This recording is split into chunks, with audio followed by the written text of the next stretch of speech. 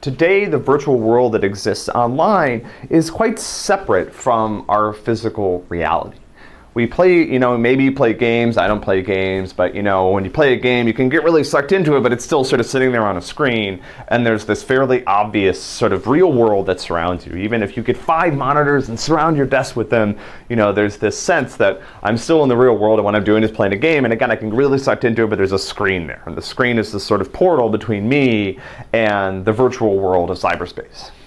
In the future, I'm sure we're going to see these worlds come together uh, much more closely. And I think we'll see two things. Uh, one thing is we're going to see uh, much more immersive experiences in these virtual worlds that we can build online. The second thing is we're going to see more of an interplay and a juxtaposition between the virtual world and the real world.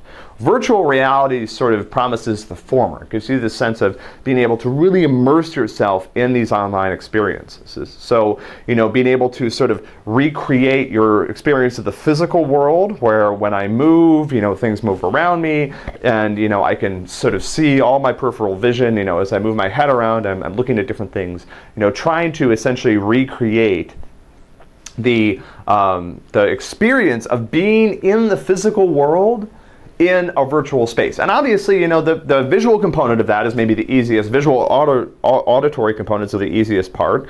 Uh, how we're going to solve things like touch, like if I'm in a virtual reality world and there's a table right here, like how do I prevent somebody from sort of walking through it or whatever? I don't know. Um, but we're definitely seeing, so you know, this year, uh, one of the products I keep seeing advertised on TV all the time is this is this VR headset. So we're starting to see this. Um, the VR headset I'm talking about, this is not a product pitch in any way. I wouldn't buy this. at $100.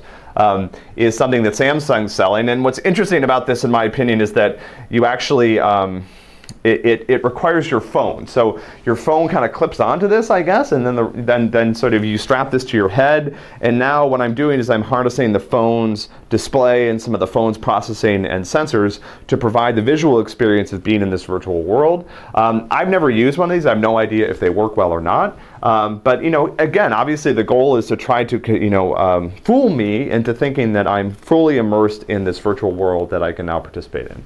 Uh, Google has a product that Greg assures me is is not a joke. It's called Google Cardboard. It's it's fifteen dollars. It's supposed to ninety nine dollars. Um, but this is pretty much the same idea. It, it allows me to um, take my phone and essentially sort of elegantly, I guess you could call that elegant, maybe, strap it to my head which is sort of, you know, so I can, I can take this and I can create a virtual reality experience by kind of just having it be like this, right? And then as I look around, the phone sensors are going to adjust the screen and I can see things like that. And so it's kind of a neat. Uh, it does mean that I can't, apparently can't use my smartphone in my virtual reality world, which is a little sad. I guess I need like a virtual reality smartphone so I can take calls in the virtual reality world and talk to other people. Um, but anyway, but I mean, these are transitional technologies clearly, but I think that more and more, we will see this type of virtual reality being used in a variety of different settings. Um, in the future, you know, maybe you won't actually commute to go to a particular place to work. You'll just, you know, go sit down at your uh, table at your kitchen at home and put on your VR headset, you know, dial into work or whatever, and then be in a virtual reality environment where you can interact with colleagues and have the type of face-to-face -face interactions that I think we started to understand are really important to productivity and creativity and things that so far have been difficult to replicate online. So this is one of the things, you know, and I'm sure we will see more of in the future. And obviously the internet is a big part of this because I don't want to, you know, strap one of these things to my head if I have totally lost connection with any other person. I mean, what makes what makes the virtual reality worlds interesting like this, in my opinion, are other people that are going to be inhabiting them. So if I put on my VR headset to go to work, I'm doing that so I can interact with other people that I want to see and have conversations with and, and talk about new ideas with. Um, so we'll see where this goes. This is obviously very exciting. All that you know, a lot of the technology is there to do this in a fairly simple way. Again, with sort of visual, sort of overloading the visual and audio inputs that we have, uh, dealing with other types of things like movement and you know the existence of objects in physical space is something that's been much more difficult. Uh, we'll see how that plays out.